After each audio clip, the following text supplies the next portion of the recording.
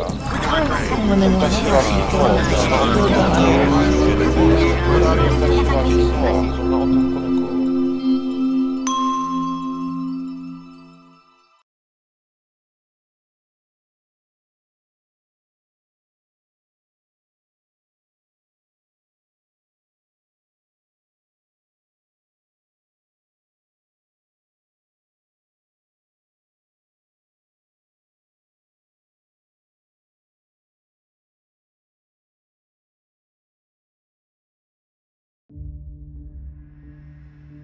Life on Earth was beyond repair.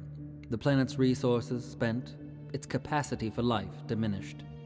Mankind was within mere generations of extinction. Humanity, not one for succumbing to fate, united and launched the most ambitious mission undertaken in its history. It fell to world renowned physicist Dr. Richard Adams to command an international team of the best and the brightest to crew the Argo, the largest space going vessel ever constructed by man. They were accompanied by Clark, an AI being of remarkable intellect. Their destination, Bernard D., a world that had shown promise of harboring life, and, perhaps, a second home for the people of our dying biosphere. The mission would take two decades. The crew's sacrifices would be enormous, but they were bound by a single goal to find a new home. Yet upon their arrival, the crew found their journey to be in vain.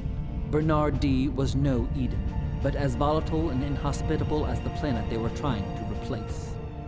Upon their return, the Argo's 40 men and women will reluctantly emerge from a deep sleep to greet Earth with devastating news. Yet the world they left was not the world they're returning to.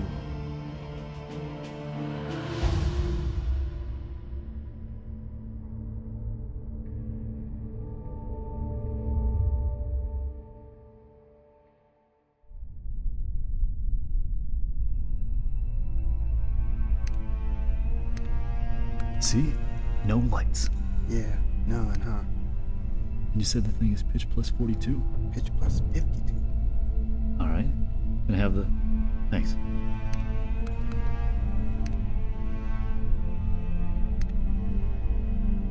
How big did you say those things were? One colony can hold 3 million. Three million people? And not a single light? What do you think of that? I honestly don't know. Should I go tell Rick? Yeah. You should be just waking up.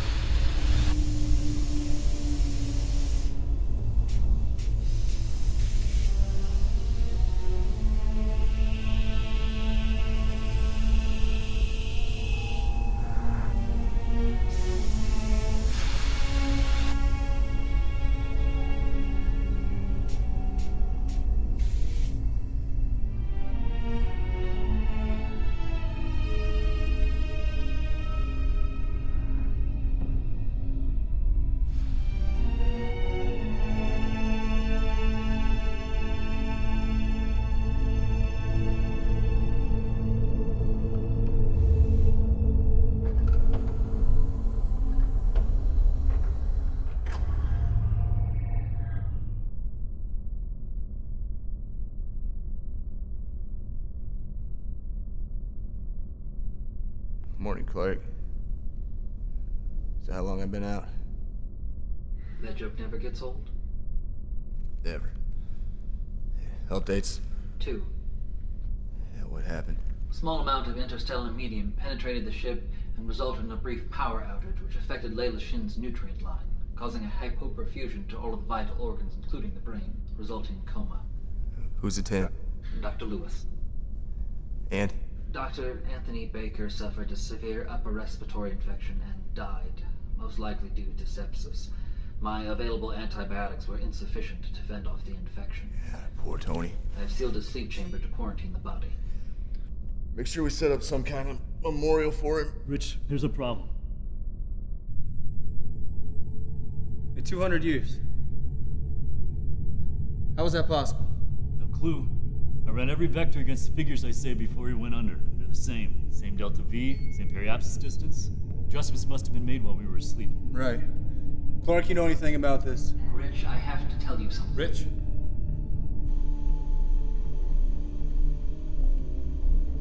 Trying K-bands, microwave, everything. I haven't gotten a single response. From anyone. Okay, so no signal, no contact, and we're 200 years late.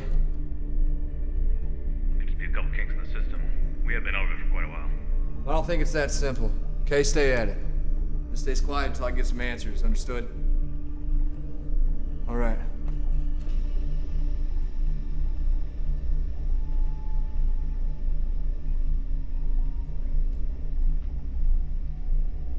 All right, people, you heard him. Get back to work.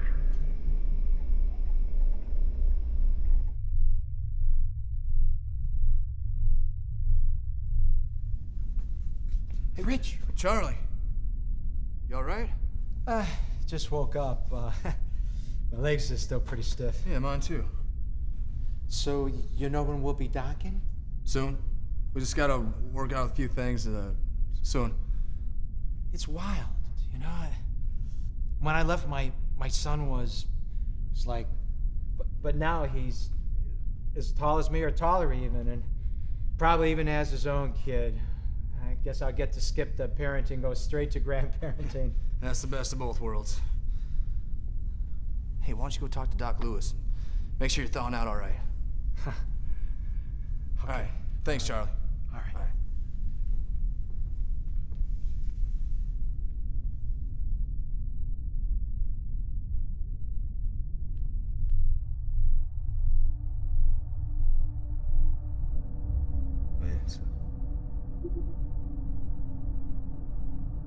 Doesn't make any sense. Rich, I have to tell you something. What is it, Clark? I delayed our return. I received a signal. It was faint, but I recognized its origin. There isn't an easy way to translate it into English, but suffice to say it aroused my worst suspicions. Was it from Earth? Yes. When? Were we in hypersleep? Yes. I made an executive decision and felt it best to delay our return. Well, what do you think it means? I can't say for sure, but I have some theories. Yeah, well, me too. Yours good? No. Yeah, me neither. Shall I notify the crew? No. Is there anything natural we could uh, blame this on? Something unrelated? You mean lie? Is that necessary? I think we need time. Time to cope. Time to make sense of all this. I don't see how lying is in any way beneficial. They will discover it all in time. It'll seem like you are keeping something from them. I would rather have them ponder our fates than confirm their worst fears. Still think it's ill-advised. And I think it's ill advised to tell 40 fathers, mothers, sons, and daughters that our return was delayed a few centuries on a hunch. It is the truth. That's the last thing they need right now, It's the truth. Doesn't make much sense, huh? No, Rich. I understand perfectly. Layla's dead. Organ failure. Put her back in her cryo tube. Seemed the best thing to do for the time being. You gonna say something? About this mess we're in.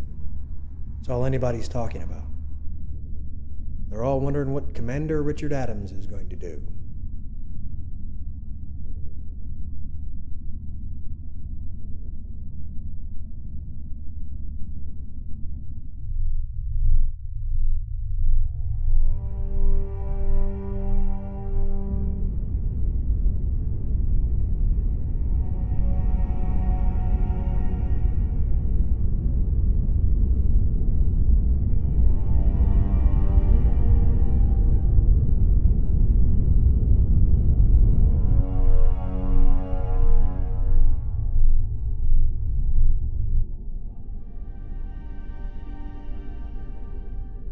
Hey, Clark, patch me in, will you?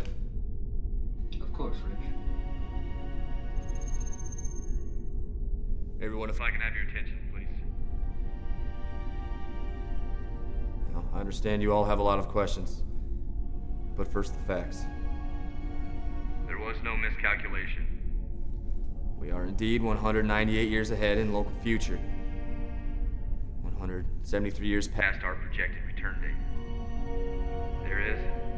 far as I can make out, a communications blackout or problem with the space station we are WNL5. As you know, the blackout extends to Earth. Clark is working on a scenario that involves EPR communication. That may take a while. Beagle 3 is Being retrofitted for an excursion inside the colony. So now's the time. Was if there you- any update on the diagnostics about the cause of the time dilation? Clark?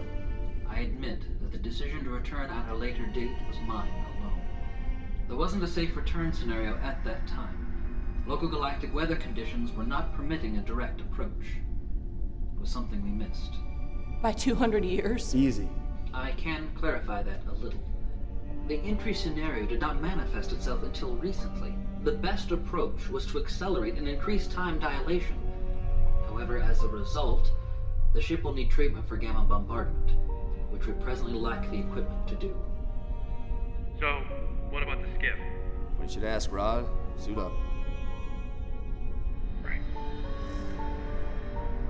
Rich, have we had any contact from anyone? Other bases? Ships? Or I guess we're calling them colonies now. There is some garbled stuff floating around out there, and we can't quite make it out at this time. So, So, no. I know this is difficult. But we'll get to the bottom of it, I promise. So let's get back to work. Adams out.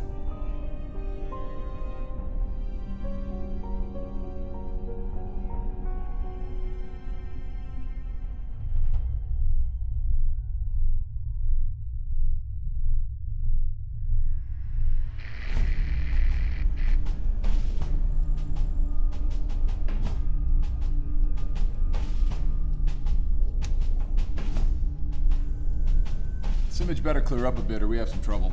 You're coming through all right. I'm sure she'll clear up.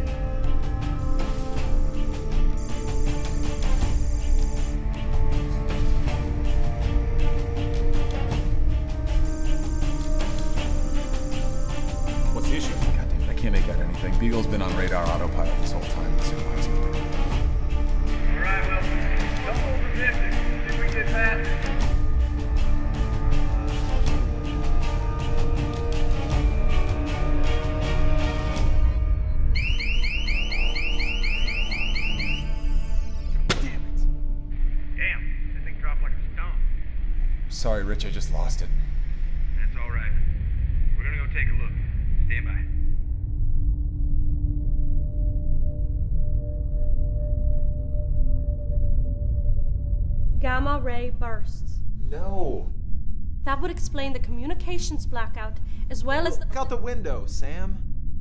I can see foliage from here. Burst that size, there wouldn't be a trace of life. It'd be a wasteland. I'm telling you, it was a solar storm. Or an impact of some kind asteroid or comet. Where's the evidence, Carl? A storm or an impact that size would have left a pretty big mark. Could have hit the ocean. Air dispersed. We were prepared for something of that size. Word would have gotten out. Jan, back me up here. Gamma ray burst. You're both wrong. It wasn't external, but internal. An aggressive and virulent virus led to a human pandemic of some sort, or an ecological disaster, agriculture failure. Either way, its origin was on Earth. Probably sent us back to pre-industrial. What did it happen in a day? No one would have left word. Pre industrial means it wouldn't have killed everyone, Jan. There'd be pockets of survivors, and they'd have made contact somehow. I have a hard time believing that viruses kill radio antennas. You ask for my opinion, I give it to you. What about aliens? What if we initiated first contact and then they wiped us out? You know, like conquistadors and Aztecs or um, whatever the alien equivalent of smallpox blankets would be. So, a race of aliens showed up, distributed quilts which killed everyone, and then just left? It's possible. You are no longer allowed to speak. Enough. Any of you got a pen?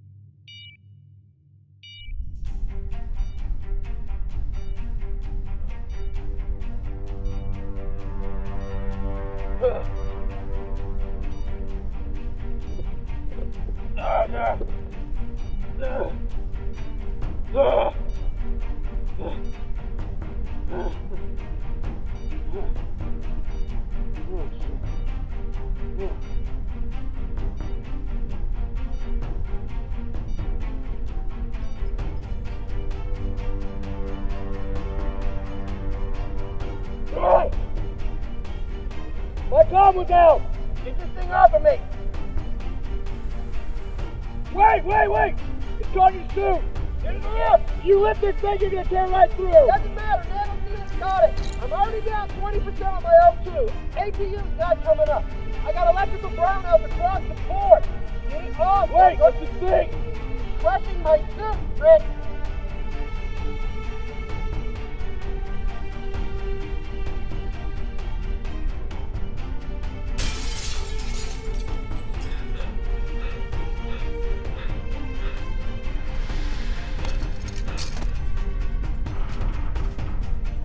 Really stuck.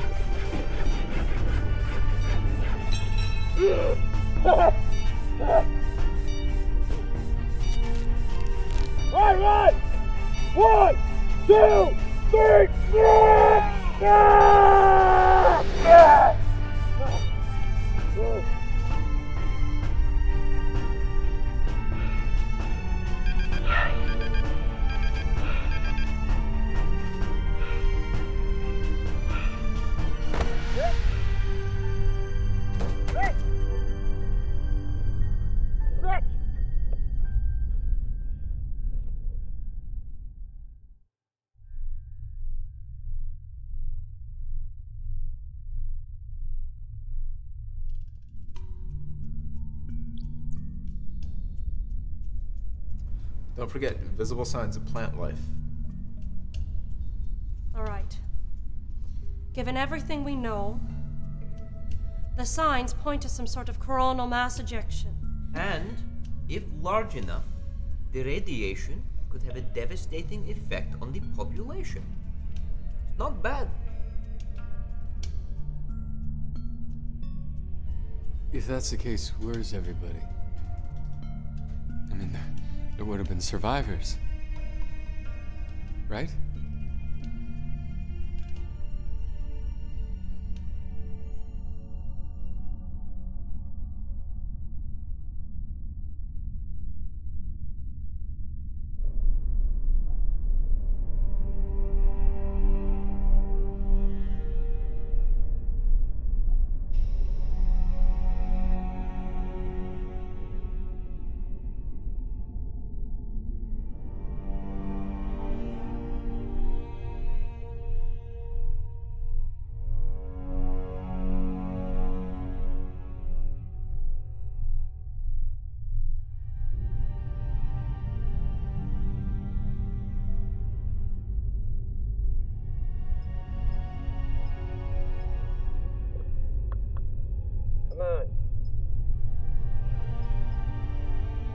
You there, boss. How you feel?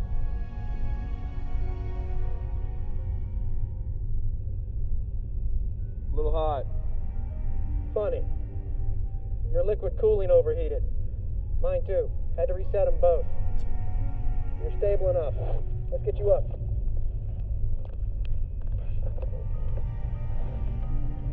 Come on. Let's get you back to the ship. No, let's keep looking around. I don't know, Rich. These suits took a beating.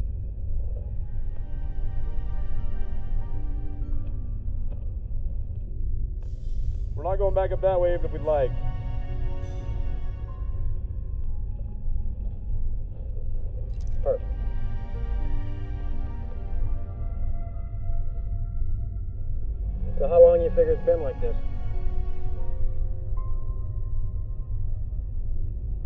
Say, but I'm gonna find out.